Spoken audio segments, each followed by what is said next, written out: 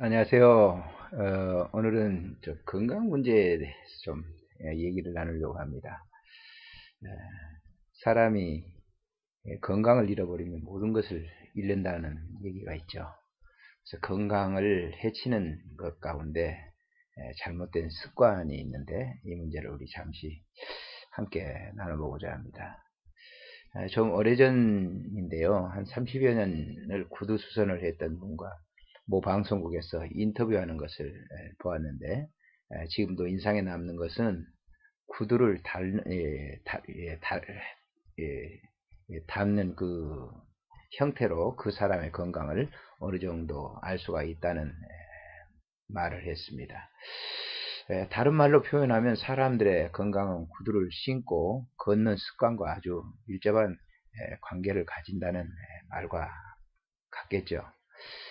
호스피스 영동에서 여러 해 발 마사지를 했는데 이제는 환자의 발만 봐도 어느 신체 부, 분이 나쁜지를 대충 이렇게 짐작할 수가 아, 있습니다. 병은 환우의 습관에 습관과 밀접한 관계가 있음을 알게 되는데 한 예로 엄지발가락과 검지발가락 사이 밑으로 이 골이 있지 않습니까?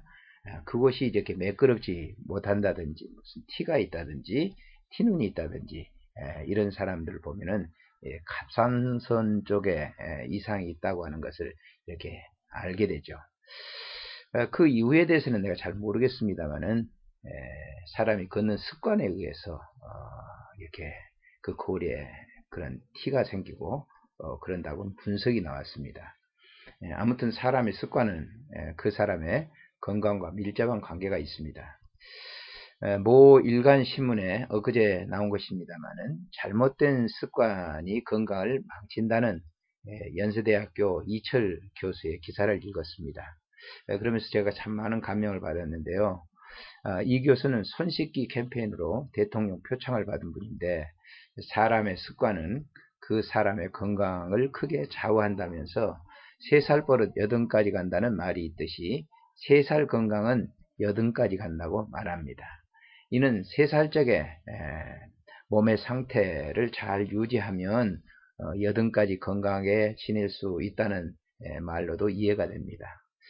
그는 사람은 완벽한 좌우 균형을 가지고 태어나고 어릴 때는 머리와 몸이 항상 동일선상에 놓여서 신체 균형과 건강을 지, 지켜준다며 그러나 나이가 들면서 골반이 틀어지고 머리가 앞으로 나가면서 각종 예, 근골격계 질환에 시달리게 되는데 거울을 보면서 몸의 균형을 균형이 틀어지지 않는지 잘 살펴봐야 한다고 하네요.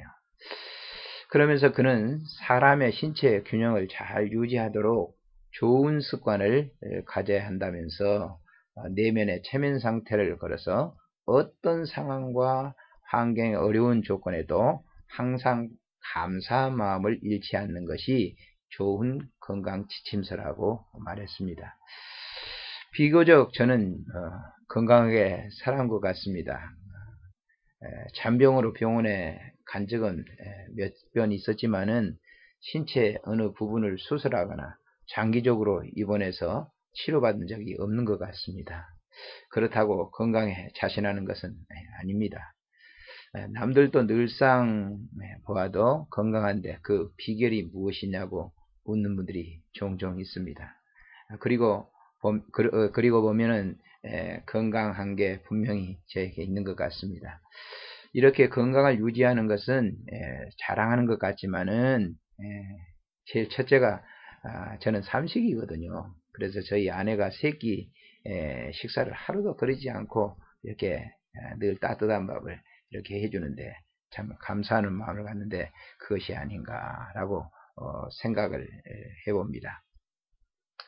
또 한 가지는 이제 바른 자세를 가지려고 애쓰는 그런 편입니다. 앉을 때도 항상 뭐, 그 고의적으로 어, 그런 생각을 하고 걸을 때도 똑바로 11자로 걷기 위해서 어, 좀 의식을 하는 그런 편인데 이런 이 바른 자세가 아, 제 건강을 좀 지켜주지 않았나 그리고 마지막으로 하나는 예, 운동인데 뭐 제가 특별하게 뭐 체육 시설을 다닌다든지 무슨 등산을 한다든지 무슨 뭐 걸음걸이를 뭐 이렇게 달리기를 한 조깅을 한다든지 예, 그런 건 없습니다. 아, 그런데 이제 제가 개인적으로 그 사무실에 있을 때 악기를 매우 좋아하거든요. 그래서 여러 가지 악기를 이렇게 배우고 익힙니다만은 제 생각에는 여러 가지 악기 중에 예, 관악기는 심폐 기능을 예, 활성화시키고 시키는 것 같아요. 어, 그리고 현악기는 이 팔과 이렇게 예, 다리를 이렇게 움직이지 않습니까? 몸을 이렇게 움직이는데 이런 뭐 기타라든지 이런 것들이 다 그런 거거든요. 크로마프 같은 것들이 다 손을 움직이고 그런 것 같습니다. 예, 건반 악기는 머리로 머리 두뇌를 써야 되잖아요. 건반을 누르려고 하면 그리고 어, 손가락을 원활하게 이렇게 움직이게 하는 것 같아요. 예, 아코디언과 같은 경우도 그렇죠. 이렇게 앞에도 이렇게 품고 손가락으로 다 이렇게 짚는데 그 머리에 생각을 하지 않으면 제대로 짚어지지 않죠.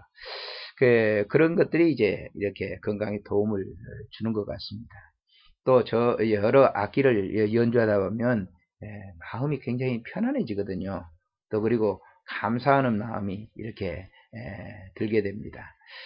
건강을 이렇게 망가지게 하는 잘못된 이 습관들 이렇게 한번 생각을 해보면서 그런 것들을 이렇게 고치는 것도 노후에 이렇게 건강하게 지낼 수 있는 그런 어떤 비결이 아닌가라고 하는 그런 생각을 해봅니다.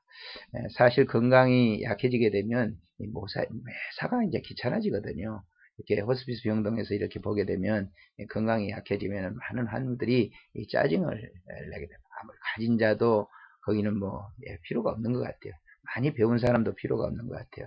그래서 건강을 예, 해치는 것은 잘못된 이 습관이다 이렇게 하고 어, 주어진 그 습관을 잘 이렇게 예, 그 이렇게 잘못된 습관을 고쳐보는 것도 어, 매우 좋으리라 생각이 됩니다. 좋은 이 습관을 가져서 노후의 삶을 건강하고 행복하게 보냈으면 합니다. 이것은 뭐 나이 드신 분들 뿐만 아니고 우리 젊은 사람들도 어, 자기의 건강을 자기가 이렇게 책임을 지는 에, 그런 습관을 이렇게 좋은 습관을 갖는 거 매우 좋게 생각합니다. 안녕히 계십시오. 다음에 또 뵙겠습니다.